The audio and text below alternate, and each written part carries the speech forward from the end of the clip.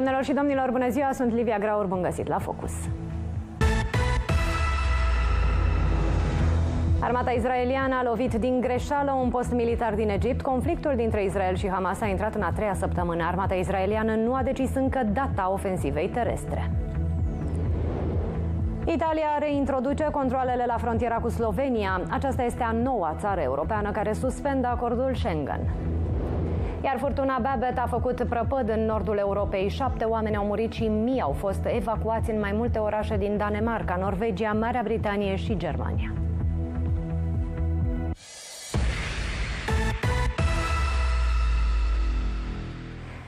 Fâșia Gaza a fost din nou sub bombardamente. Numărul victimelor crește alarmant. Israelul a anunțat că a lovit din greșeală un post militar egiptean aflat în apropiere de punctele de trecere cu Fâșia Gaza. Mai mulți polițiști egipteni ar fi fost răniți în urma incidentului. Iar după atacuri, armata israeliană a anunțat că a lovit 320 de ținte Hamas. Între timp, un al treilea convoi umanitar a intrat în Fâșia Gaza, dar nu se știe când se va face distribuirea. Medicii sunt disperați. Le lipsesc lucruri esențiale pentru a le salva viețile celor ajunși în mâinile lor. Atenție, urmează imagini și detalii cu un puternic impact emoțional.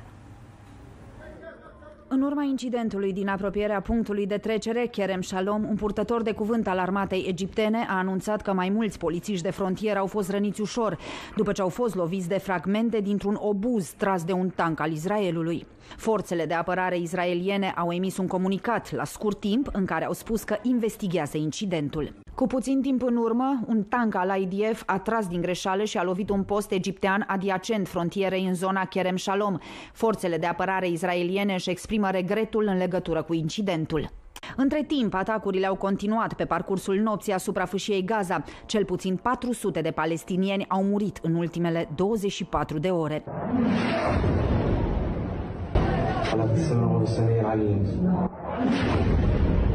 Palestinienii trăiesc clipe cumplite. De la începerea conflictului, noaptea trecută a fost cea mai grea dintre toate.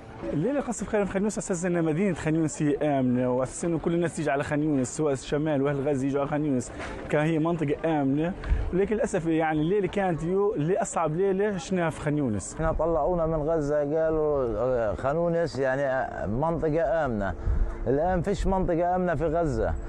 يعني القصف الليله في خانونس مختلف عن كل ليله يعني والحمد لله رب العالمين هينا قاعدين Bombardamentele ar fi vizat zone dens populate, inclusiv zone rezidențiale. Tabăra de refugiați din nordul Gaza, din Jabalia, a fost și ea lovită. Peste 30 de oameni au murit.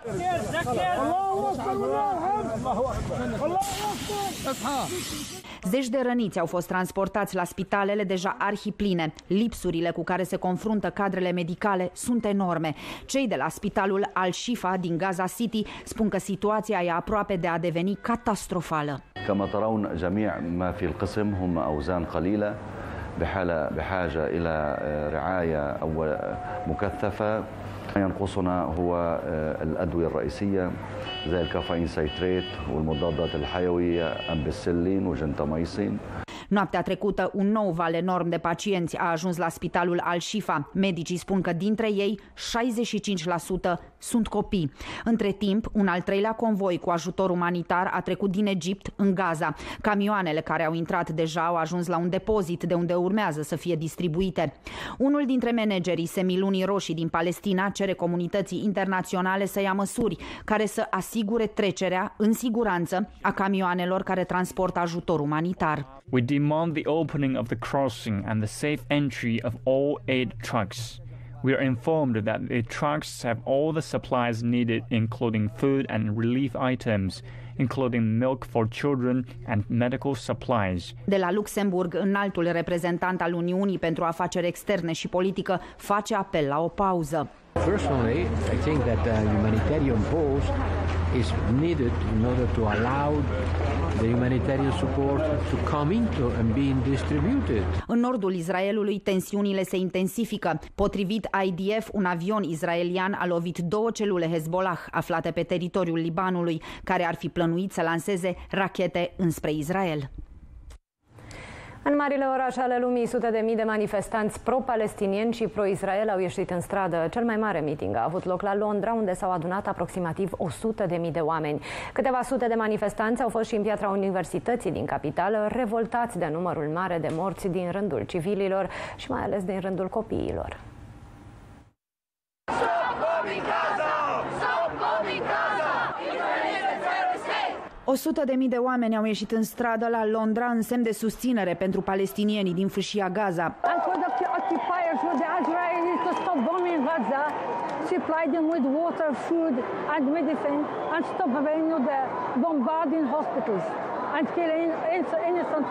Și în Germania, la Berlin și Frankfurt, dar și în Austria, la Viena, mii de oameni au ieșit în stradă și au condamnat Israelul și atacurile aeriene asupra fâșiei Gaza.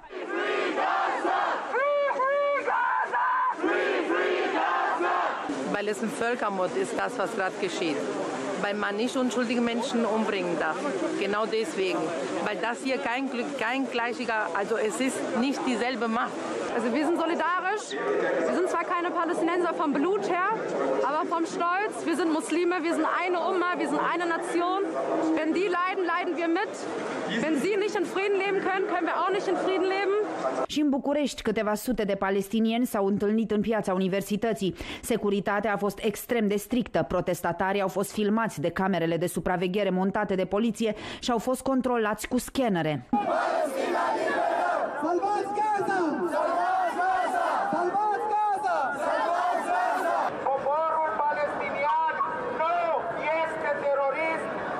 data de 20 octombrie, eu am pierdut 13 membri de familie. Și nu doar eu. O groază de familii din toată Gaza au murit. Manifestanții palestinieni acuză media occidentală că minte cu privire la război spun neadevărul. Nu e vorba de Hamas, nu, asta e vorba de lupta de 70 de ani. Lupta de 70 de ani. Am avut pace cu ei, n-au respectat nici pace. 30 de ani am avut, nici asta n-au respectat. Ei se întind, se întind, se întind. Îi dai o degetă, vrea să ia mâna. Nu ne interesează niciun uh, grupare uh, războinic sau niciun țările care e, se atacă fără să respecte dreptul omului. În totalitate suntem împotriva război. Nici din partea Hamas, nici din partea Israel. Nu suntem de acord. Because what's happening in Palestine is genocide. Palestine, uh, Israel is a terrorist. They are killing civilians, children, decapitating child. It's not good. It's terrorist. Stop the genocide! Protestul a durat două ore și nu a fost înregistrat vreun incident. O tânără de 21 de ani a murit, iar alte trei persoane au fost rănite după ce mașina în care se aflau s-a lovit violent de un podeț într-o comună din județul Dolj. Vă avertizez că urmează imagini și detalii care vă pot afecta emoțional. Tragedia s-a produs în comuna Călăraș și momentul dinainte accidentului a fost surprins de o cameră de supraveghere din zonă. În imagini se vede cum șoferul, o tânără în vârstă de 19 ani, conduce cu viteză și pierde controlul mașinii într-o curbă. După impact, autoturismul s-a rostogolit de mai multe ori. Pasagera din dreapta șoferului, o femeie de 21 de ani care era și proprietara mașinii, a murit pe loc. Șoferița și alți doi pasageri aflați pe bancheta din spate au scăpat cu viață și au fost transportați la spital pentru îngrijiri medicale. Polițiștii au deschis dosar penal pentru ucidere din culpă. Obișnuitele controle ale polițiștilor după șoferi care urcă la volan băuți sau drogați s-a lăsat weekendul care tocmai a trecut cu o captură serioasă. În Ilfov s-au dat peste 100 de amenzi în doar câteva ore. Agenții au găsit un adolescent în vârstă de 17 ani care pornise pe străzi cu mașina deși nu avea permis de conducere. După ce l-a oprit în trafic, au descoperit că tânărul băuse și era și sub influența drogurilor. Într-un alt caz, un bărbat care consumase și el foarte mult alcool le-a dat bătăi de cap polițiștilor copiilor, mai ales când a încercat să comunice cu ei în limba engleză. La Cum vă numiți? La parking a fost. Corect? Ați fost la parking, ați trecut pe la Zgrai, ați intrat în singur în mașină, dumneavoastră sunteți conducător auto. Acest bărbat a fost oprit de polițiști în Ilfov, în parcarea unui fast food. Mai bine de jumătate de oră l-au rugat să se legitimeze. Nu voia în ruptul capului să comunice cu ei. Deși nu mai era nimeni în mașină, insista că el nu a condus până acolo. Era evident însă că băuse, așa că agenții au vrut să-l testeze și de această dată s-au înțeles greu cu el, iar la un moment dat a început chiar să vorbească în engleză. Oamenii legii au fost nevoiți să ceară intervenția echipajelor de la acțiuni speciale. Vom, ne vom deplasa sau ne vom deplasa la spital pentru recortarea de probe biologice de sânge în vederea stabilirea alcoolemiei dumneavoastră în calitate de conducător auto. No, you am in parking. Dacă nu să aflați, mergem la spital. Suflăm, suflăm, flow, flow, mai, mai, mai, mai, suflăm ca lumea, suflăm, suflăm, Dai, dai, suflăm, dai, dai, dai, dai, dai. Stop. It's ok, stop. Este ok. 1,20, o valoare de 1,20 miligrame pe litru. Polițiștii din Ilfov l-au dus la spital pentru analize. Nu a fost singurul caz. Polițiștii rutieri din Ilfov au oprit în trafic un autoturism condus de un tânăr în vârstă de 17 ani. În urma verificărilor, polițiștii rutieri au stabilit că acesta nu deține permis de conducere, iar în urma testării cu aparatul alcool test a rezultat valoarea de 1,08 mg per litru alcool pur în aerul expirat. De asemenea, în urma testării cu aparatul din dotare, au reieșit indicii cu privire la o posibilă prezență a substanțelor psihoactive. În total, polițiștii din Ilfov au dat 120 de sancțiuni și au reținut 5 permise. În ultima vreme, nu e zi să nu prindă la volan șoferi băuți sau drogați. De asemenea, polițiștii rutieri au constatat aproape 30.000 de infracțiuni contra siguranței circulației pe drumurile publice, ponderea fiind deținută de infracțiunile pe linia conducerii fără permis de conducere, respectiv 40%, și de cele privind conducerea unui autovehicul sub influența alcoolului sau altor substanțe interzise, respectiv 44% din totalul infracțiunilor constatate. De la începutul anului, polițiștii rutieri din toată țara au dat un milion și jumătate de sancțiuni contravenționale.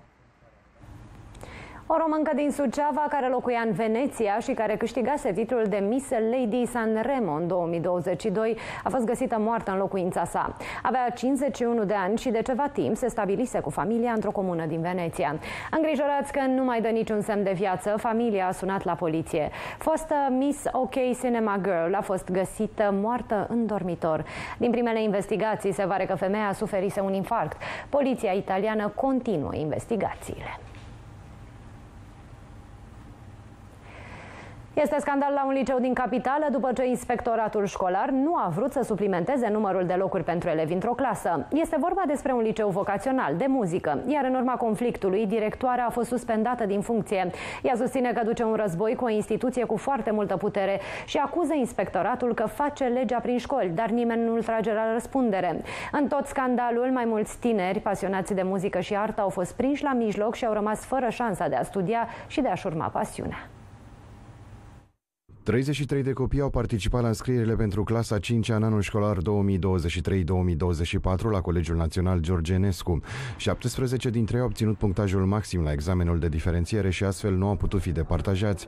Situația a ajuns într-un impas și pentru că mulți elevi sunt talentați și meritau să se mai creeze o clasă, directoarea a cerut inspectoratului să aprobe mai multe locuri. Cum noi nu aveam decât patru locuri uh, libere, am făcut solicitare către inspectoratul școlar, am luat viza de la uh, sectorul 1 și nu ne-a fost transmis până după începerea școlii că acest lucru nu este posibil. Ba mai mult decât atât, verbal ni s-a spus mergeți înainte și bineînțeles că eu din experiența anterioară m-am gândit că interesul copiilor și al elevilor este primordial. Chiar dacă suplimentarea locurilor e o procedură des întâlnită în sistemul educațional, în cazul Colegiului Național George Enescu lucrurile s-au complicat, atât de mult încât a intervenit chiar Ministrul Educației. S-a ajuns până la urmă la un ordin de ministru care a rezolvat această problemă. Bineînțeles că a fost un stres extraordinar pentru copii, pentru părinți, sunt familii care s-au mutat din altă țară ca să-și dea copilul în clasa 5 la liceu George Enescu Vocațional. La o săptămână, inspectoratul a mers în control la liceu. They o notă de relație, de niște informații și eu vă Așa. dau niște direcții. Deci dumneavoastră ați venit nu ca să ne ajutați să obținem a treia clasă. Eu v-am zis de la început. Nu pot să vă ajut așa ceva. Practic, inspectorii nu au venit să rezolve problema a zeci de copii și părinți, ci să ia la puricat toate documentele din școală, chiar dacă fac controlele an de an și nu au găsit până acum nereguli. Ca dovadă că inspectoratul este o putere de care nu te poți atinge. Da, cu siguranță. Dar în fața căreia trebuie să tremuri și nu ai voie să, să, cum spuneam, nu ai voie să strălucești. Inspectorii au avut o problemă și cu faptul că la clasa 9 s-a cerut suplimentarea celor 24 de locuri existente cu încă 3, în condițiile în care toate clasele din ceilalți ani școlari au câte 30 de elevi, deci mai mulți, dar cei trei adolescenți care își doreau să studieze nu au fost primiți. Unul dintre ei a fost distrus că nu își va continua studiile și la liceu.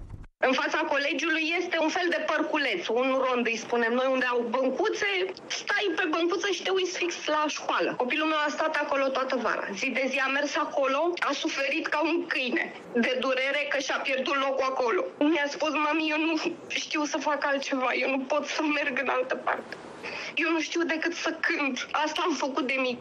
Un al patrulea elev însă a fost primit, deși avea note mai mici ca ceilalți. S-a mai făcut o cerere pentru un copil separat mult mai jos pe listă și pentru acel copil s-a suplimentat locul. Dumneavoastră ce credeți că se întâmplă? E foarte personal. Domnii inspectori au luat-o personal. În urma scandalului, directoarea a fost suspendată din funcție, însă inspectorul general care a semnat documentul nu a fost zăgăsit. Acum directoarea vrea să-și câștige dreptatea în instanță, însă conform noilor legi ale educației, inspectoratele se vor desfința în curând, deci este posibil să nu aibă cu cine să se judece. O nouă lege intrigă pe români. Până la 31 decembrie, toți consumatorii trebuie să aibă repartitoare individuale la calorifere, spune legea eficienței energetice. Până aici, nimic obișnuit. Paradoxul este că poți să-ți montezi un astfel de echipament doar dacă Asociația de Proprietari vrea să încheie contracte cu furnizorii de repartitoare. Așadar, se aplică principiul ori toți, ori niciunul. Problema este că mulți dintre locatari refuză montarea de teamă că repartitoarele duc la facturi mari la căldură. Iar de aici începe să se contureze cercul vicios. Potrivit legii, chiar dacă decizia aparține asociației, proprietarul este cel care primește o amendă între 5 și o, 500 și 1000 de lei dacă nu are repartitoare. Apariție surpriza lui Mick Jagger. Solistul legendarei trupe The Rolling Stones a apărut îmbrăcat într-o călugăriță pentru o parodie marca Saturday Night Live. Now let's go, sisters. I think I'm ready for the second coming.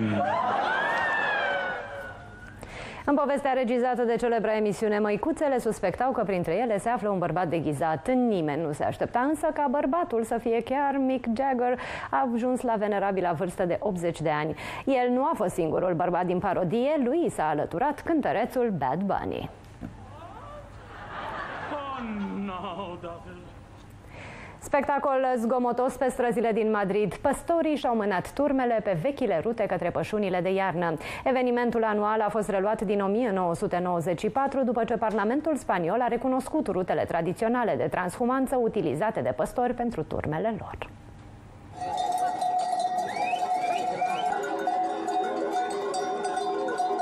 Trecătorii au privit încântați cum păstorii îmbrăcați în haine tradiționale și saboți de lemn își ghidau animalele cu calm prin centrul Madridului. Es increíble.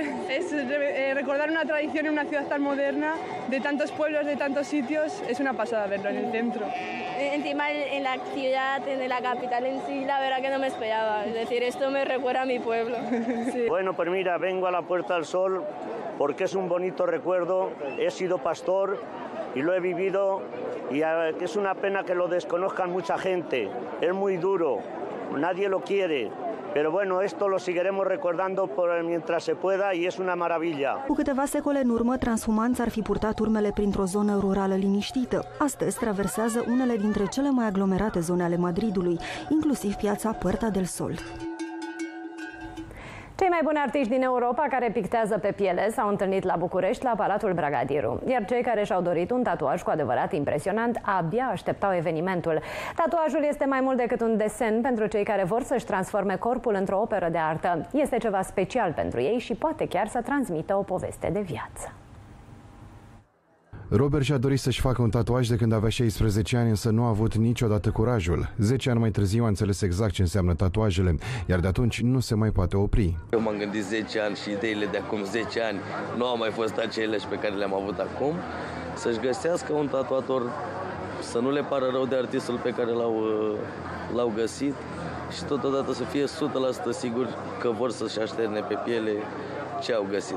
Fiecare tatuaj are o semnificație importantă pentru el. Îi aduce aminte de o persoană dragă, de un moment fericit sau, din potrivă, mai neplăcut din viața lui. În urma tuturor întâmplărilor prin care am trecut, să spunem, M-am gândit foarte mulți ani ce să-mi fac. Am căutat într-adevăr și niște imagini care să-mi placă foarte mult vizual și pe care le pot corela cu întâmplările din viață pe care, prin care eu am trecut. Andrei este artistul care pictează pe pielea lui Robert. Tatuajul durează ore în șir, însă rezultatul este impresionant. Estimez undeva la șapte ore doar timpul efectiv de lucru, cu pauze, cu pregătirile ne ducem undeva la 9 ore. Emilia face tatuaje din 2016. A venit special din Polonia în România pentru Convenția de Tatuaje. Sunt mulți oameni care preferă să se exprime prin tatuaje și nu prin vorbe, spune ea, iar mesajul transmis în acest fel e mult mai puternic. For example, I tattoo a lot of people which overcame an addiction and homelessness and a rough time, and for them sometimes the slightest tiny little symbol might have a massive meaning, just for them a victory, that they have a second chance in the life. Convenția de tatuaje se află deja la 11 ediție. Încercăm să adunăm împreună foarte mulți artiști tatuatori, că asta e și ideea. Uh, artă, pictură, să aducem și din artele plastice, să promovăm cumva cultura asta, tatuajelor și a artei. 120 de artiști tatuatori din Peru, China, Thailanda, Argentina, Statele Unite, dar și din toate țările din Europa au venit în România să picteze pe piele operă de artă pentru iubitorii de tatuaje. Sala Palatului din capital a fost gazdă pentru cele mai frumoase pisici. Sute de feline din mai multe țări s-au lăsat fotografiate și admirate de vizitatori și au participat la un concurs de frumusețe. Rasele deosebite au făcut furori, iar un astfel de exemplar ajunge la câteva sute de euro. Un loc special a fost și zona de adopții, așa că mulți au plecat acasă cu un nou membru al familiei. Sala Palatului a fost invadată în acest weekend de sute de pisici frumoase, îngrijite și răsfățate. Peste 250 de rase au concurat pentru titlul de Miss. Printre ele, impunătoarea Maine Coon, cea mai mare ca dimensiune dintre pisicile domestice. O cheamă Harley Quinn și dacă vă uitați la desenul de pe fața ei, veți înțelege exact de ce. Suntem foarte mulțumiți de ea, e mândria felisei noastre și uh, sperăm pe mai departe la rezultate mult mai bune. Printre felinele gata să ocupe un loc pe podium am găsit și cea mai mică rasă, Singapura. Ea este Tiffany și are 8 ani. Este și veteran, participă și la competiția de veterani, participăm cu ea de aproape 8 ani. Nu necesită îngrijire specială, trebuie hrană super premium, vizite la veterinar. Pisicile British Shorthair au furat și ele inima vizitatorilor. Ea este pașa, are doar 6 luni și este un British Shorthair Golden. Ea a putut fi admirată aici, la sala Palatului, de către toți iubitorii de pisici. Am ajuns și la Sphinx, rasa de pisici fără blană. Proprietarii ne asigură că sunt cele mai iubitoare feline și perfecte pentru copii. They love the, the children, they love the people. Uh, they are very, very, very kind and, and very lovely cats. Frumoase. Ce pisică ți-a plăcut cel mai mult? Asta. Asta? Da. Și ce-ți place la ea? Place care ochișori așa drăguți. Nouă ne plac cele British. Au niște ochișori mici și drăguți, sunt superbe. Ne gândim serios să achiziționăm o mică pisicuță, dar micuță. sunt minunate și chiar uh, mă gândesc să plec cu una acasă. Deși nu veniseră neapărat cu gândul să adopte o pisică, mulți dintre vizitatori au plecat acasă cu un prieten pe viață. A fost deschis și târgul de adopții pentru pisicile salvate de pe stradă. În activitatea noastră găsim animale care au nevoie de ajutor, fie că sunt rănite, bolnave sau pur și simplu nu se pot descurca pe stradă și atunci intră în grija noastră, sunt tratate, sunt uh, deparazitate, sterilizate, vaccinate și abia ulterior încercăm să le găsim o familie. Salonul Felin Internațional Sophisticat este cea mai mare întâlnire a felinelor din România și din sud-estul Europei. Lacrimi de râs, de asta vor avea parte timp de 10 zile iubitorii de film. A început a cincea ediție a festivalului Bucharest Best Comedy Film. Între 20 și 30 octombrie, filmele de comedie din competiție se văd atât la Cinemaraton, cât și în hubul de filme și evenimente din Parcul Drumul Taberei. Intrarea este liberă, iar în fiecare seară de la ora 20 începe regalul de filme. Gala de lansare a festivalului Bucharest Best Comedy a avut loc aseară la Biblioteca Națională din capitală, împreună cu vernisajul unei expoziții de caricatură dedicat marelui Ion Popescu Gopo. Anul acesta se împlinesc 100 de ani de la nașterea sa. Am lansat atunci uh, centenarul uh, cu expoziție de afișe uh, originale ale filmelor lui, afișe românești și străine, uh, cu fotografii aflate în uh, arhiva familiei. A ieșit și uh, moneda numismatică uh, făcută de către Banca Națională a României. Dacă e să vorbesc despre expoziția mea cât de cât, cred că e o expoziție uh, cu umor, Uh, iar noi, uh, românii, avem calitatea asta de a face haz de necaz, de a râde, cu lucrări în general pliate pe uh, teme culturale, educaționale, în cea mai mare parte și câteva politice ca să dea bine într-o expoziție. La eveniment a fost prezent și Horațiu Mălăele, dar nu numai în calitate de actor, ci de grafician. Am publicat vreo 6.000 de desene Uh, am avut o expoziție la Muzeul Literaturii Române cu vreo 250 de lucrări de grafică, grafică satirică. Nu sunt un uh, caricaturist, în sensul uh, cel mai profund semantic al cuvântului. Sunt un uh, grafician. Muzicienii au adus în fața oaspeților povești reale din Bucureștiul interbelic. Eu și soția mea vom participa cu o expoziție sonoră, adică uh, este muzică amestecată cu povești. E vorba despre niște povești adevărate, petrecute pe scenele operelor. Un micro-recital care este uh, extras dintr-un spectacol mai vast, care se numește Spitalul Amorului și voi fi acompaniată la pian de soțul meu Alexandru Petrovici și vor fi niște piese haioase în ton cu acest festival. Selecția pentru festival cuprinde pelicule în premieră în România și s-a concentrat pe filme în limba germană, finlandeză, cehă, spaniolă sau franceză. Prin asta se dorește educarea publicului iubitor de cinema pentru consumul de filme în alte limbi limbi decât engleză. Nu numai oamenii vor trece ca actori prin fața spectatorilor, ci și găini, văcuțe, animale sau câini cu personalitate. Avem 10 filme în competiție de peste tot din lume, aduse la București și dăm premiu pentru cea mai bună comedie in our vision. De ce facem noi acest festival? Pentru că Considerăm că filmul de comedie este foarte puțin reprezentat în România și semnalul nostru de alarmă este acela de a arăta că românii nu văd film, că este un procent foarte mic de film european văzut în România și să schimbăm un pic imaginea filmului european. Din juriul festivalului fac parte criticul de film Irina Margareta Nistor, actorii Ioana Pavelescu, Adrian Păduraru și Gianina Corondan, dar și regizorul Andrei Zincă muncă, iar marele câștigător va fi anunțat pe 30 octombrie. Luăm acum o scurtă pauză de publicitate, dar nu plecați, revenim imediat.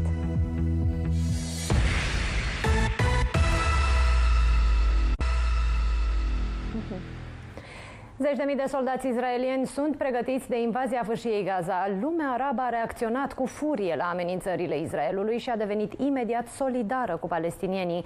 Un conflict prelungit în Palestina ar obosi însă și mai mult opinia publică internațională și ar diminua considerabil ajutorul dat Ucrainei. Un lucru este cert, încet și violent, ordinea mondială este pe cale să se schimbe. Și firesc, ne întrebăm noi unde suntem. Cosmin Păcuraru, doctorand în relații internaționale și studii europene, este invitat invitatul meu de la această oră și îi spun bună ziua și vă mulțumesc că sunteți alături de noi. Bună ziua! Războiul din Israel a făcut ca bursele să reacționeze imediat. Ce riscuri există pentru economia mondială? Riscuri energetice, în primul rând, și de aici știm că nu avem energie, nu avem economie. Uh, trebuie spus că prin zona trec uh, mai multe trasee energetice care sunt în pericol. Uh, să nu uităm că strâmtoarea Ormuz este destul de aproape, iar prin strâmtoarea Ormuz trec uh, traseele energetice care pleacă din Iran, Irak, Arabia Saudită și Emiratele Arabe, toate cele cinci state fiind uh, state membre OPEC. De asemenea, mai trece și un traseu care pleacă din, din uh, Qatar și uh, știm că Qatarul este unul din uh, statele, cele mai mari state exportatoare de uh, gaz natural lichefiat. Uh, prin strâmtoarea Ormuz circulă cam 20% din uh, consumul de petrol zilnic și cam 20% din consumul de gaz natural lichefiat zilnic. Asta înseamnă că și noi, Uniunea Europeană, suntem supuși unor vulnerabilități, dacă nu riscuri. Un alt uh, traseu energetic, care este legat și de strâmtoarea Ormus, evident, este cel din, uh, de, din Egipt, canalul Suez și o conductă care leagă zona Mării Roșii de zona de Marea Mediterană. Uh, prin aceste două căi ar trece zilnic 1,75 milioane de barili de petrol și rafinate din petrol pe zi și prin conducta Sumed Suez Mediterranean trec în jur de 2,5 milioane de barili pe zi. Prin canalul Suez mai trec tancurile de uh, gaz natural lichefiat proporția este de 25% din uh, producția mondială. Acum trebuie să ne uităm cu atenție și pe ceea ce se întâmplă pe lângă Israel. Israelul este la câțiva kilometri de o mare rezervă de, de gaz natural uh, care este adus prin conducte în uh, Israel. Israelul, dacă acum uh, niște ani nu era producător de gaz natural, acum Israelul produce în jur de 23 de miliarde de metri cub pe an. Anul trecut a produs în jur de 23 de miliarde de metri cub pe an, uh, cam 12,5-13 miliarde de metri cub sunt folosiți în producția internă care de fapt înseamnă uh, energie electrică, 70% din energia electrică a Israelului fiind uh, produsă din gaz natural, iar restul fiind exportat. Exportul uh, fiind în uh, Egipt și în uh, Iordania. Egipt aproape 6 miliarde de metri cub, în Iordania 3,3-3,4 uh, miliarde de metri cub. Uh, problema e că Uniunea Europeană a încheiat Israelul uh, un contract de import de gaz natural lichefiat din Israel. Uh, cum se face această, acest import? Din depozitul Leviatan la câțiva kilometri, în jur de 50 de kilometri, care trebuie spus e un depozit uh, mare de foarte joasă adâncime. Adâncimea este mai mare decât uh, cea de la Neptune Deep. Deci din uh, depozitul Leviatan, care conducta ajunge cam în dreptul așchelonului, se exportă printr-o conductă submarină către Egipt, Port Said, unde face conjuncția cu Arabian Gas uh, Pipeline, iar uh, acolo, de acolo, prin uh, terminal de lichefiere, se încarcă acest gaz natural către uh, Uniunea Europeană prin tancurile specifice de transport a gazului natural lichefiat. Uh, acum ar trebui să vedem ce se poate întâmpla dacă acest conflict uh, se contagionează, se mărește, se... În primul și în primul rând, noi ca Uniunea Europeană pot spune că importăm din Egipt, deci e posibil ca acel gaz să fie provenit și din uh, Israel. Israel, uh, în jur de 10 miliarde de metri cub. 10 miliarde de metri cub este cam jumătate din cât importăm astăzi din Rusia.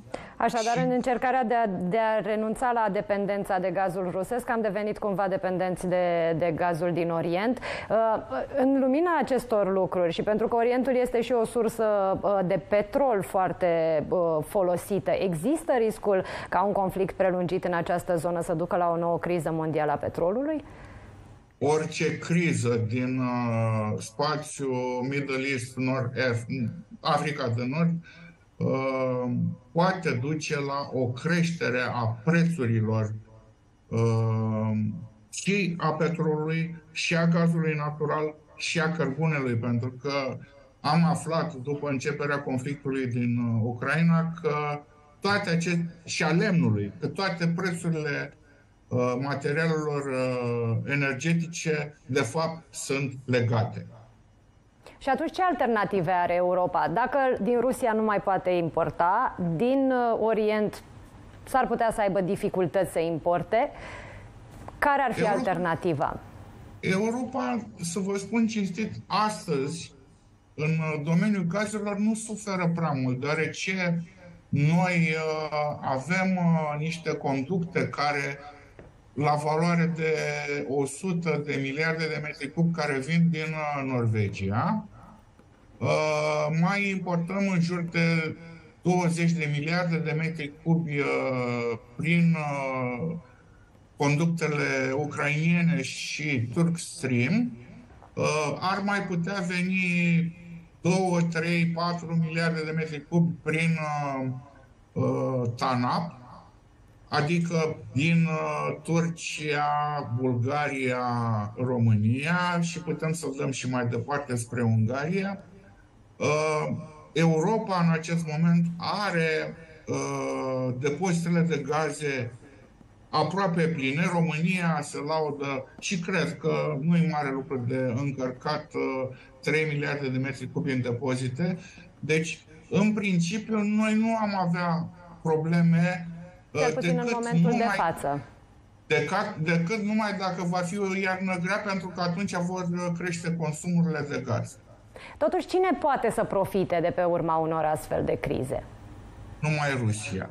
Să uh, ne amintim că cu două săptămâni înainte de uh, începerea conflictului uh, Israel din Israel, liderii Hamas au fost la Kremlin și unde s-au întâlnit cu uh, ministrul de externe Sergei Lavrov.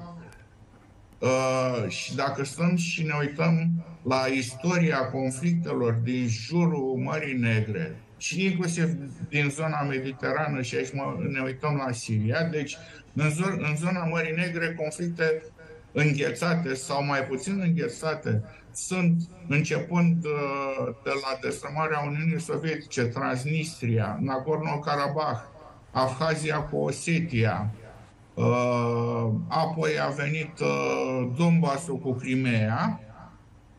Deci, toate au fost generate de Federația Rusă și Federația Rusă a profitat deoarece pe lângă aceste conflicte, ori sunt rezerve de energie și aici uh, ne gândim, sau trasee energetice și aici ne gândim clar la traseele energetice care vin din uh, Marea Caspică sau la rezervele care sunt în Marea Neagră. Uh, conflictul din Crimea din 2014 efectiv a înghețat orice activitate de jur împrejurul acestea Deci vă spun cinstit că eu nu văd ca România să extragă ceva din Marea Neagră, din uh, acel uh, mare depozit uh, descoperit Neptune Deep, decât numai după terminarea conflictului din uh, războiului din Ucraina. Spuneați așadar că la nivel de gaze nu vor fi probleme, cel puțin uh, nu iarna aceasta și în cazul în care nu vom avea o iarnă foarte grea. Uh, în ceea ce privește petrolul, în schimb, lucrurile stau puțin altfel, pentru că acolo e vorba pur și simplu de creșterea uh, prețului barilului, de acolo un tăvălug al creșterii tuturor prețurilor. România este un importator net de petrol și vrem, nu vrem, suntem supuși prețului uh, mondial al petrolului.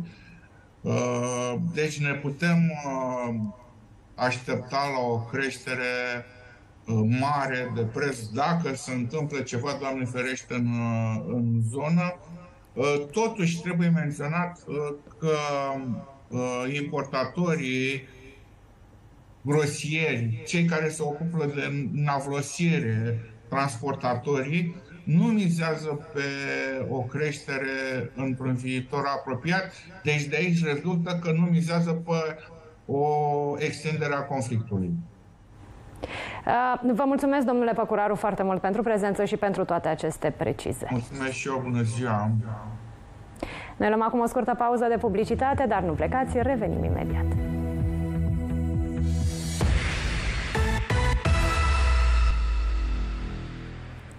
Fâșia Gaza a fost din nou sub bombardamente. Numărul victimelor crește alarmant. Israelul a anunțat că a lovit din greșeală un post militar egiptean aflat în apropiere de punctele de trecere cu fâșia Gaza. Mai mulți polițiști egipteni ar fi fost răniți în urma incidentului. Iar după atacuri, armata israeliană a anunțat că a lovit 320 de ținte Hamas. Între timp, un al treilea convoi umanitar a intrat în fâșia Gaza, dar nu se știe când se va face distribuirea. Medicii sunt disperați, le lipsesc lucruri esențiale pentru a le salva viețile celor ajunși în mâinile familiile lor. Atenție, urmează imagini și detalii cu un puternic impact emoțional. În urma incidentului din apropierea punctului de trecere, Kerem Shalom, un purtător de cuvânt al armatei egiptene, a anunțat că mai mulți polițiști de frontieră au fost răniți ușor, după ce au fost loviți de fragmente dintr-un obuz tras de un tank al Israelului. Forțele de apărare israeliene au emis un comunicat la scurt timp în care au spus că investigează incidentul. Cu puțin timp în urmă, un tank al IDF a tras din greșeală și a lovit un post egiptean adiacent frontierei în zona Kerem Shalom. Forțele de apărare israeliene își exprimă regretul în legătură cu incidentul. Între timp, atacurile au continuat pe parcursul nopții asupra fâșiei Gaza. Cel puțin 400 de palestinieni au murit în ultimele 24 de ore.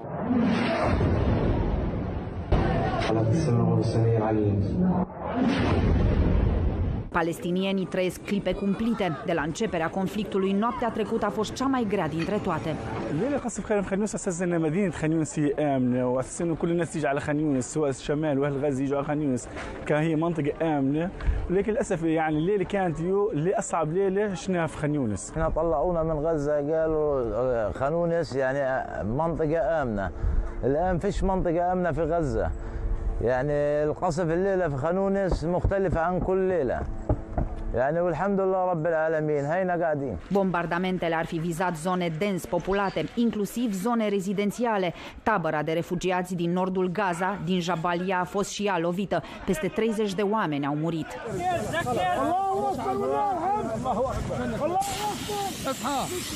Zeci de răniți au fost transportați la spitalele deja arhipline. Lipsurile cu care se confruntă cadrele medicale sunt enorme. Cei de la spitalul Al-Shifa din Gaza City spun că situația e aproape de a deveni catastrofală. كما ترون جميع ما في القسم هم أوزان قليلة بحالة بحاجة إلى رعاية أو مكثفة ينقصنا هو الأدوية الرئيسية زي الكافيين سيتريت والمضادات الحيوية أمبسلين وجنتاميسين Noaptea trecută, un nou val enorm de pacienți a ajuns la spitalul Al-Shifa. Medicii spun că dintre ei, 65% sunt copii. Între timp, un al treilea convoi cu ajutor umanitar a trecut din Egipt în Gaza. Camioanele care au intrat deja au ajuns la un depozit de unde urmează să fie distribuite. Unul dintre managerii Semilunii Roșii din Palestina cere comunității internaționale să ia măsuri care să asigure trecerea în siguranță a camioanelor care transportă ajutor umanitar. We demand the opening of the crossing and the safe entry of all aid trucks.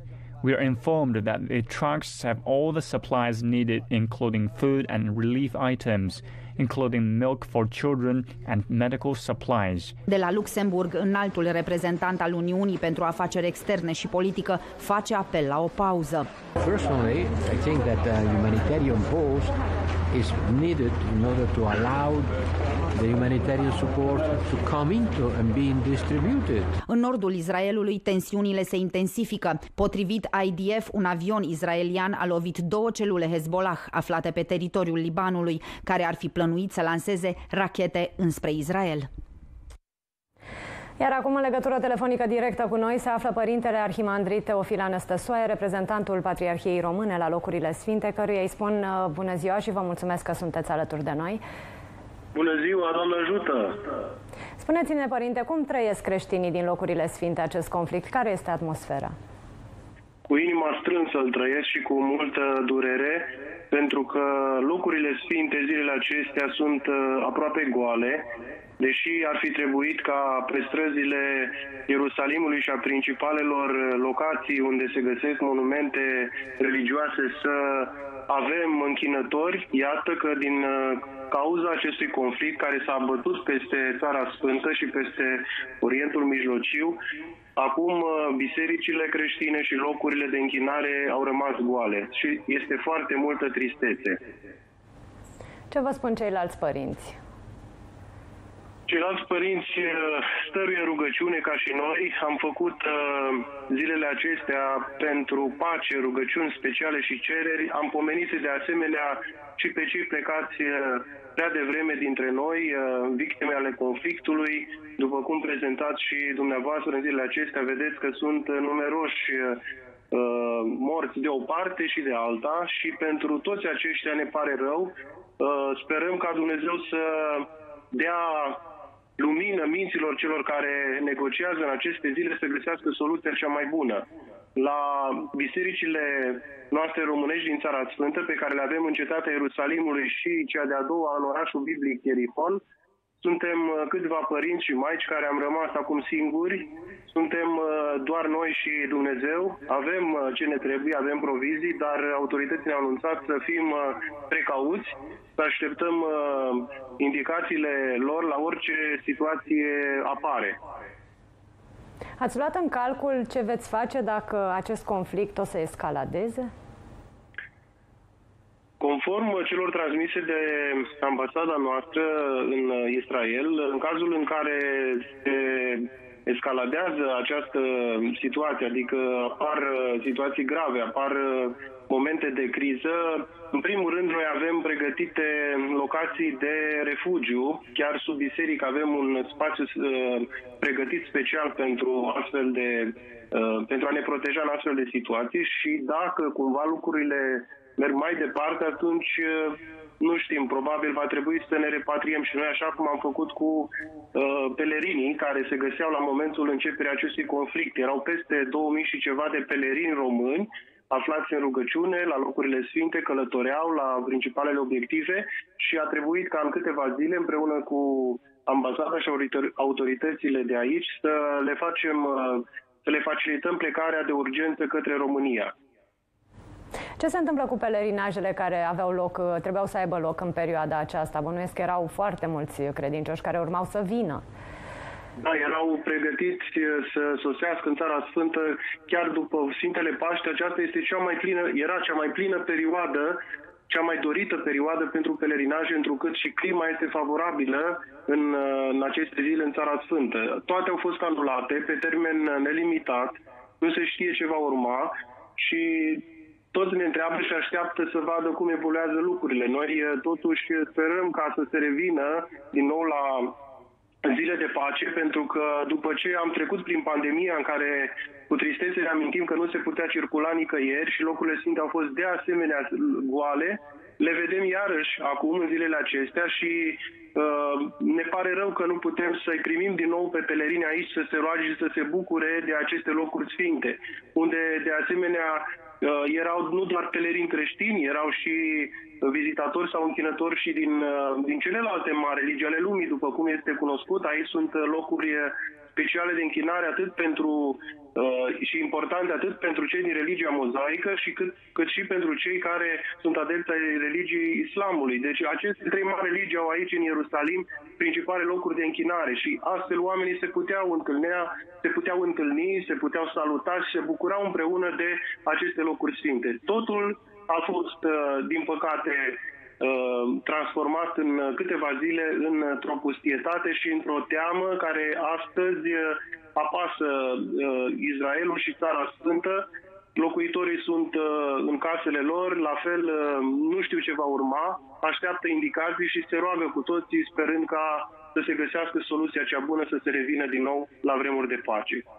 Pentru că știu că sunteți aproape de graniță, au mai fost bombardamente ieri, astăzi. În Ierusalim nu, nu, uh, dar uh, pentru, pentru slujitorii noștri care se află în locația din Ierihon, este mai dificil pentru că orașul este închis, nu se poate intra sau ieși. De aceea ei sunt doar uh, acolo în biserică și așteaptă să vadă lucrurile cum evoluează. Repet, noi ținem legătura și cu uh, ambasada noastră din Tel Aviv, care la rândul ei primește informații directe de la Uh, reprezentanții guvernului și o parte din uh, personalul uh, auxiliar, de exemplu, a fost deja evacuat. Sperăm ca să avem vești bune și să nu trebuiască să urmăm și noi aceeași procedură. Știu că sunt și biserici din Gaza care au fost bombardate. Da, ținem legătura și cu cei de acolo. În regiunea Gaza sunt aproximativ 80.000 de creștini de naționalitate palestiniană. Aceștia și vreo 200 de 200 și ceva de români sau um, cei care sunt căsătoriți în familii mixte. Ei bine, acești uh, credincioși din Gaza, ortodoxi, uh, sunt păstoriți uh, de către un episcop care aparține Patriarhiei Ierusalimului, ortodox, pe nume Alexios, și care, din nefericire, a fost în centrul atenției zilele acestea când sâmbătă Biserica Sfântului Porfirie din Gaza a fost bombardată. În interior se găseau și uh, vreo 300 de creștini care erau adăpostiți, nu mai aveau case și au fost primiți acolo în curtea bisericii și au fost victime, au fost deja, o parte din ei au fost îngropați, au fost găsiți printre dărâmături. În continuare se lucrează pentru că unul dintre imobilele bisericii a căzut, a fost uh, dărâmat și a căzut peste acești uh, nefericiți oameni care acum uh, sunt jeliți și pentru care am făcut și noi rugăciuni ca Dumnezeu să îi așeze în loc de liniște. Deci situația este cu adevărat apăsătoare, este multă teamă, spaimă și cu toții și-ar dori ca să se încheie odată. Părinte, vă mulțumesc pentru toate aceste uh, precizări și vă doresc să fiți în siguranță. Frumos. Domnul să ajute să aducă din nou pacea peste țara sfântă. Mulțumim. Mergem mai departe. Acum obișnuitele controle ale polițiștilor după șoferi care urcă la volan băuți sau drogați s-au lăsat și weekendul care tocmai aici a trecut cu o captură serioasă. În Ilfov s-au dat peste 100 de amenzi în câteva ore. Agenții au găsit un adolescent în vârstă de 17 ani care pornise pe străzi cu mașina, deși nu avea permis de conducere. După ce l-a oprit în trafic, au descoperit că tânărul băuseș și era și sub influența drogurilor. Într-un alt caz, un bărbat care consumase și el foarte mult alcool le-a dat bătăi de cap polițiștilor, mai ales ales atunci când a încercat să comunice cu ei în limba engleză. La Cum vă numiți? La parking a fost. Ați fost la parking, ați trecut pe la drive, ați intrat în singur în mașină, dumneavoastră sunteți conducător auto. Acest bărbat a fost oprit de polițiști în Ilfov, în parcarea unui fast food. Mai bine de jumătate de oră l-au rugat să se legitimeze. Nu voia în ruptul capului să comunice cu ei. Deși nu mai era nimeni în mașină, insista că el nu a condus până acolo. Era evident însă că băuse, așa că agenții au vrut să-l testeze și de această dată s-au înțeles greu cu el, iar la un moment dat a început chiar să vorbească în engleză. Oamenii legii au fost nevoiți să ceară intervenția echipajelor de la acțiuni speciale. Vom, ne vom deplasa sau ne vom deplasa la spital pentru recortarea de probe biologice de sânge în vederea stabilirea alcoolemiei dumneavoastră în calitate de conducător auto. Nu. Eu am în parking. Dacă nu să aflați, mergem la spital. Suflăm, suflăm, flow, flow, mai, mai, mai, mai, suflăm ca lumea, suflăm, suflăm, Dai, dai, suflăm, dai, dai, dai, dai, dai. Stop. It's ok, stop. Este ok. 1,20, o valoare de 1,20 miligrame pe litru. Polițiștii din Ilfov l-au dus la spital pentru analize. Nu a fost singurul caz. Polițiștii rutieri din Ilfov au oprit în trafic un autoturism condus de un tânăr în vârstă de 17 ani. În urma verificărilor, polițiștii rutieri au stabilit că acesta nu deține permis de conducere, iar în urma testării cu aparatul alcool test a rezultat valoarea de 1,08 mg pe litru alcool pur în aerul expirat. De asemenea, în urma testării cu aparatul din dotare, au reieșit indicii cu privire la o posibilă prezență a substanțelor psihoactive. În total, polițiștii din Ilfov au dat 120 de sancțiuni și au reținut 5 permise. În ultima vreme, nu e zi să nu prindă la volan șoferi băuți sau drogați. De asemenea, polițiștii rutieri au constatat aproape 30.000 de infracțiuni contra siguranței circulației pe drumurile publice, ponderea fiind deținută de infracțiunile pe linia conducerii fără permis de conducere, respectiv 40%, și de cele privind conducerea unui autovehicul sub influența alcoolului sau altor substanțe interzise, respectiv 44% din totalul infracțiunilor constatate. De la începutul anului, polițiștii rutieri din toată țara au dat un milion și jumătate de sancțiuni contravenționale.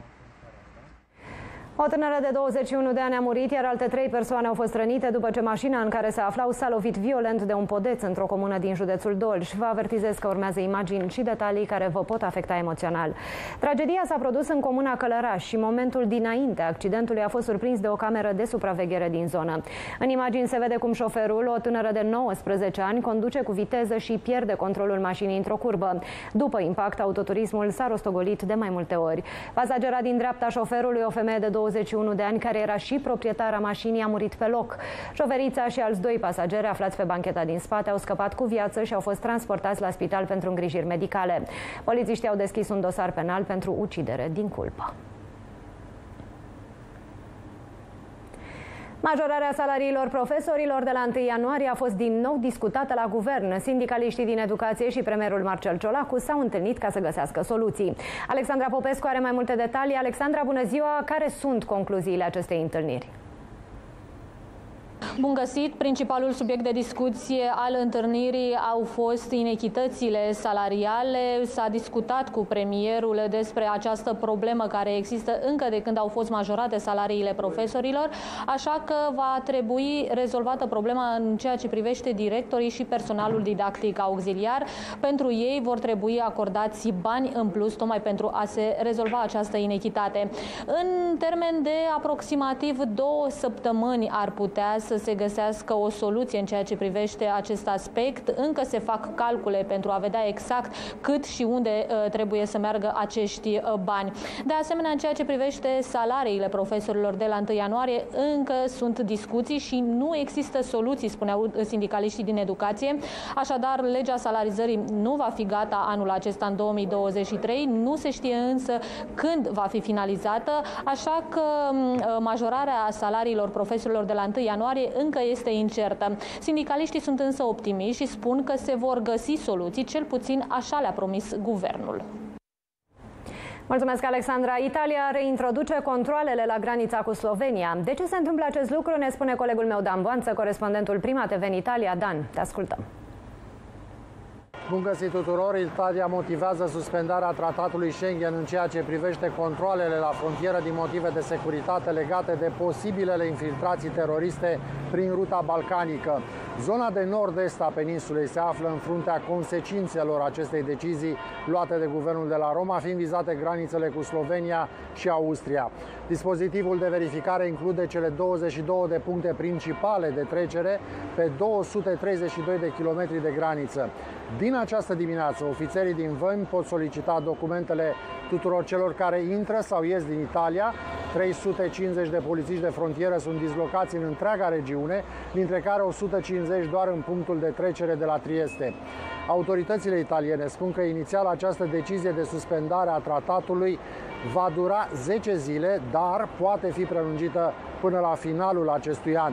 Și nu numai Italia a suspendat tratatul Schengen, Austria, Cehia, Franța, Germania, Polonia, Slovenia și Slovacia au făcut același lucru. Suspendarea temporară a acordului a fost introdus în contextul condițiilor de securitate dificile și a creșterii amenințării teroriste în toată Europa după violențele izbucnite recent în Orientul Mijlociu. Guvernul de la Roma spune că are în vedere toate problemele legate de securitatea granițelor sale și din acest motiv au fost introduse în această dimineață măsuri sporite de securitate, suplimentând numărul ofițerilor în civil în aeroporturi, gări, porturi și transportul în comun, mai ales din marile orașe ale peninsulei. Mulțumesc, Dan! Spectacol zgomotos pe străzile din Madrid. Păstorii și-au mânat turmele pe vechile rute către pășunile de iarnă. Evenimentul anual a fost reluat din 1994 după ce Parlamentul spaniol a recunoscut rutele tradiționale de transhumanță utilizate de păstori pentru turmele lor.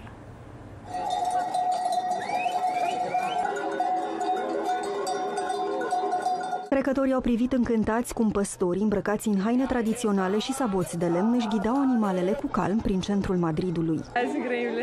Es eh, recordar una tradición en una ciudad tan moderna, de tantos pueblos, de tantos sitios, es una pasada verlo en el centro. Encima en la ciudad, en la capital en sí, la verdad que no me esperaba. Es decir, esto me recuerda a mi pueblo. Sí. Bueno, pues mira, vengo a la Puerta del Sol porque es un bonito recuerdo. He sido pastor y lo he vivido y que es una pena que lo desconozcan mucha gente. Es muy duro, nadie lo quiere.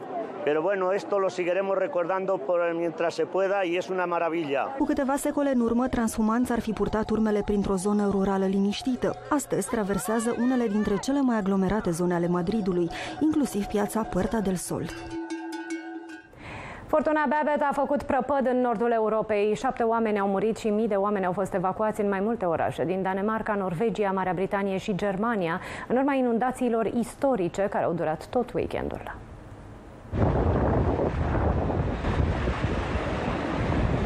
Furtuna a lovit mai întâi Danemarca și Norvegia, unde inundațiile au fost devastatoare. Nivelurile apei în unele orașe daneze au depășit înălțimea normală cu peste 2 metri, un eveniment rar care se produce doar o dată la 100 de ani.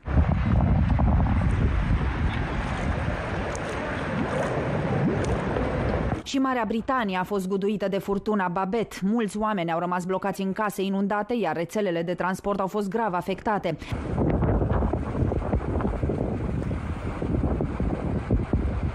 Meteorologii avertizează că inundațiile vor continua cel puțin încă două zile.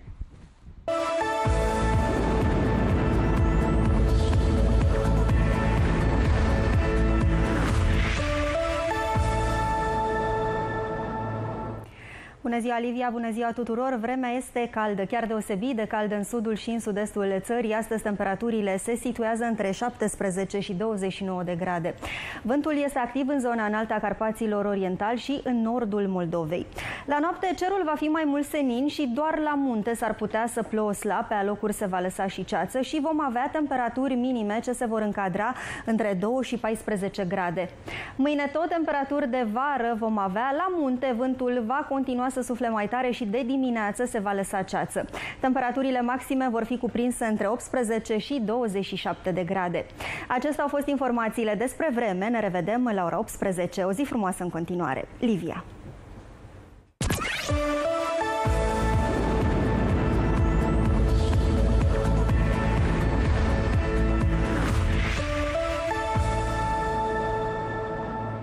Mulțumesc, Georgia. Luăm acum o scurtă pauză de publicitate, dar nu plecați, revenim imediat.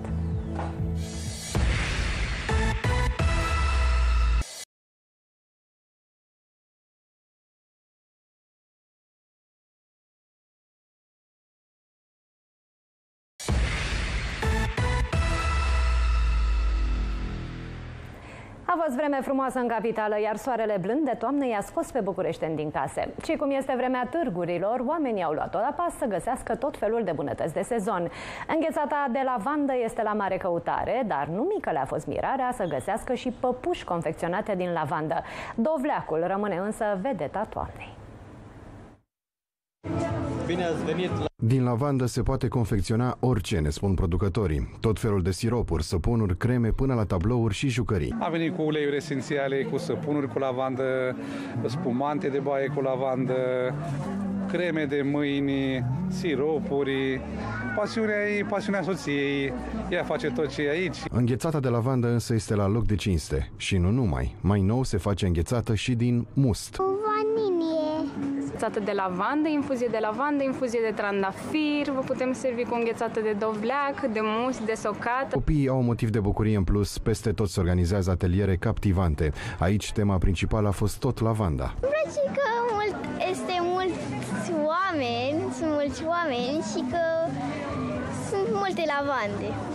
Halloween și uh, lavanda cred că, este o, că sunt o combinație perfectă uh, pentru că uh, lavanda este un, pe un stil așa mai uh, cu un miros plăcut, uh, un miros interesant, iar Halloween este puțin mai înfricoșător. Vedeta sezonului rămâne însă dovleacul, iar oamenii s-au înghesuit la bunătăți. Am uh, ieșit că e o zi minunată și să ne delectăm să mâncăm produse tradiționale românești. Dovleac, da, da că suntem și aproape de Halloween. Livenci cu dovleac am făcut, palembrâu cu dovleac, plăcintă cu dovleac cu aluat uh, fraget, cu aluat de pandeșpan, tot felul de rețete pe care gospodinile din Moldova le fac în casă frecvent.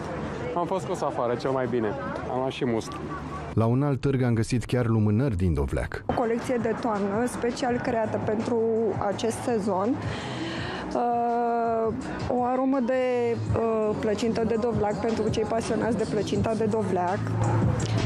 Uh, o plăcintă caldă de mere. Alții au dat o tură pe la târgul de produse vintage, unde au găsit tot felul de obiecte inedite. E foarte frumoasă, e mai inedită, îmi place că e vintage. Am vrut să le îmbinăm pe amândouă într-o formă tangibilă, practic. Am dat uh, uh, sunet modei. Târgurile sunt deschise și mâine, iar vremea se anunță la fel de bună, așa că bucureștenii își pot asezona plimbarea cu produsele de toamnă. Cei mai buni artiști din Europa care pictează pe piele s-au întâlnit la București, la Palatul Bragadiru. Iar cei care și-au dorit un tatuaj cu adevărat impresionant abia așteptau evenimentul. Tatuajul este mai mult decât un desen pentru cei care vor să-și transforme corpul într-o operă de artă. Este ceva special pentru ei și poate chiar să transmită o poveste de viață. Robert și-a dorit să-și facă un tatuaj de când avea 16 ani, însă nu a avut niciodată curajul. 10 ani mai târziu a înțeles exact ce înseamnă tatuajele, iar de atunci nu se mai poate opri. Eu m-am gândit 10 ani și ideile de acum 10 ani nu au mai fost aceleași pe care le-am avut acum. Să-și găsească un tatuator, să nu le pară rău de artistul pe care l-au, l-au găsit și totodată să fie 100% sigur că vor să-și așterne pe piele ce au găsit.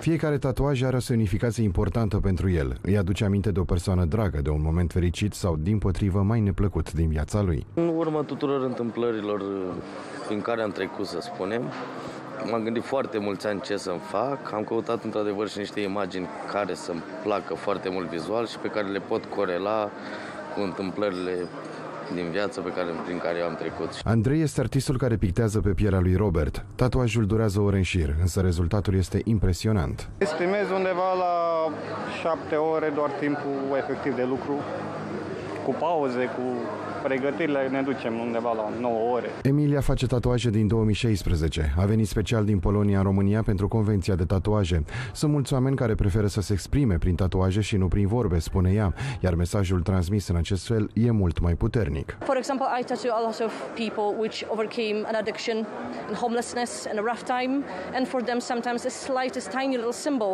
might have a massive meaning, just for them a victory that they have a second chance in the life. Convenția de tatuaje se află deja la 11 ediție. Încercăm să adunăm împreună foarte mulți artiști tatuatori, că asta e și ideea. Uh, artă, pictură, să aducem și din artele plastice, să promovăm cumva cultura asta, tatuajelor și a artei. 120 de artiști tatuatori din Peru, China, Thailanda, Argentina, Statele Unite, dar și din toate țările din Europa, au venit în România să picteze pe piele opere de artă pentru iubitorii de tatuaje.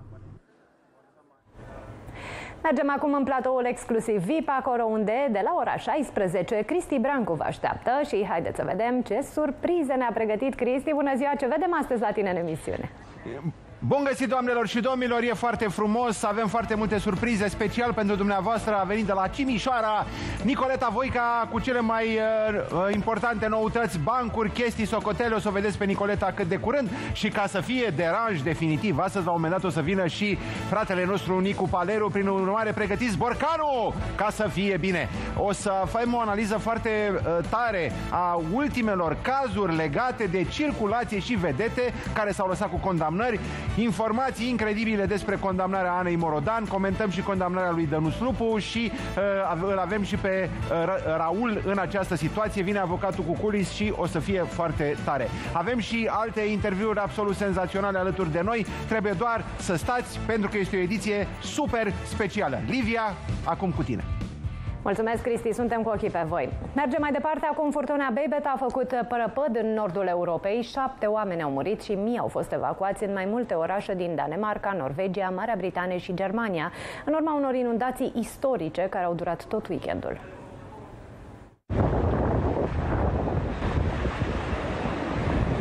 Furtuna a lovit mai întâi Danemarca și Norvegia, unde inundațiile au fost devastatoare. Nivelurile apei în unele orașe daneze au depășit înălțimea normală cu peste 2 metri, un eveniment rar care se produce doar o dată la 100 de ani.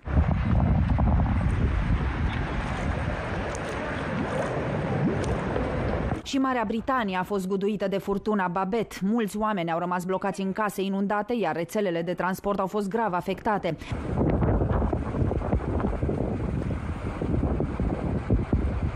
Meteorologii avertizează că inundațiile vor continua cel puțin încă două zile. Guvernul a aprobat strategia națională de sănătate pentru perioada 2023-2030.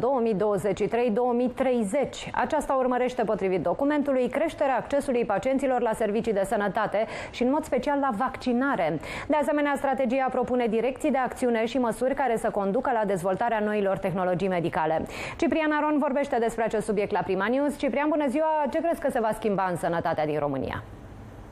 Bună ziua, Livia, bun găsit tuturor. Nu mă aștept să se întâmple minuni peste noapte. Șapte ani e un uh, termen foarte mic pentru uh, posibilitățile pe care le are România. Noi n-am reușit în 20 și ceva de ani, de pildă, să construim uh, trei spitale regionale. La un moment dat se discuta chiar de opt uh, spitale regionale, se mai discuta chiar și de un spital republican. Suntem în varianta în care uh, să retușăm sau să punctăm uh, pe aici, pe acolo, pe unde, pe unde se poate, în punctele esențiale ca să mergem la, la Caragiale.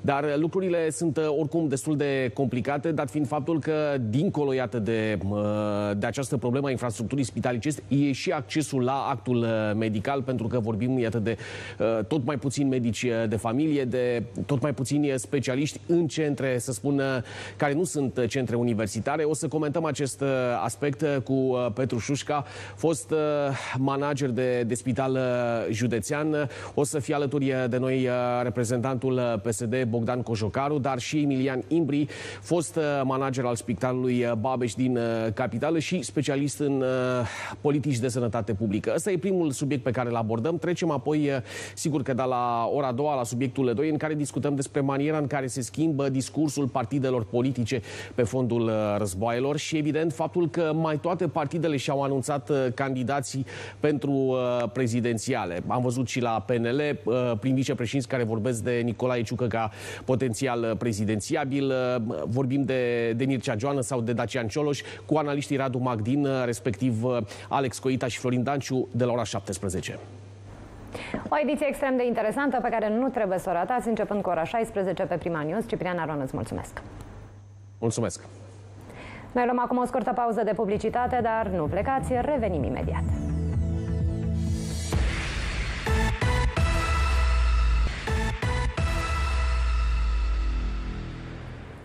Majorarea salariilor profesorilor de la 1 ianuarie a fost discutată din nou la guvern. Sindicaliștii din educație și premierul Marcel Ciolacu s-au întâlnit pentru a găsi soluții. Alexandra Popescu are mai multe detalii. Alexandra, bună ziua! Care sunt concluziile acestei întâlniri? Bun găsit! Principalul subiect de discuție al întâlnirii au fost inechitățile salariale. S-a discutat cu premierul despre această problemă care există încă de când au fost majorate salariile profesorilor, așa că va trebui rezolvată problema în ceea ce privește directorii și personalul didactic auxiliar. Pentru ei vor trebui acordați bani în plus tocmai pentru a se rezolva această inechitate. În termen de aproximativ două săptămâni ar putea să se găsească o soluție în ceea ce privește acest aspect. Încă se fac calcule pentru a vedea exact cât și unde uh, trebuie să meargă acești uh, bani. De asemenea, în ceea ce privește salariile profesorilor de la 1 ianuarie, încă sunt discuții și nu există soluții, spuneau sindicaliștii din educație. Așadar, legea salarizării nu va fi gata anul acesta în 2023, nu se știe însă când va fi finalizată, așa că uh, majorarea salariilor profesorilor de la 1 ianuarie încă este incertă. Sindicaliștii sunt însă optimiști și spun că se vor găsi soluții, cel puțin așa le-a promis guvernul. Mulțumesc, Alexandra, doamnelor, domnilor, focus se încheie aici, dar știrile noastre le puteți vedea și pe site-ul primanews.ro. Acum rămâneți pe Prima TV pentru că de la ora 16 Cristi Brancu are invitat surpriză la exclusiv VIP.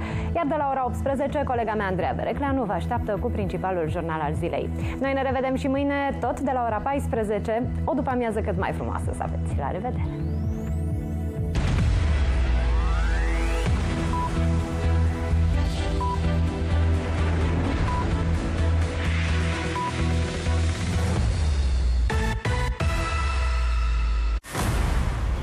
Program disponibil pe primaplay.ro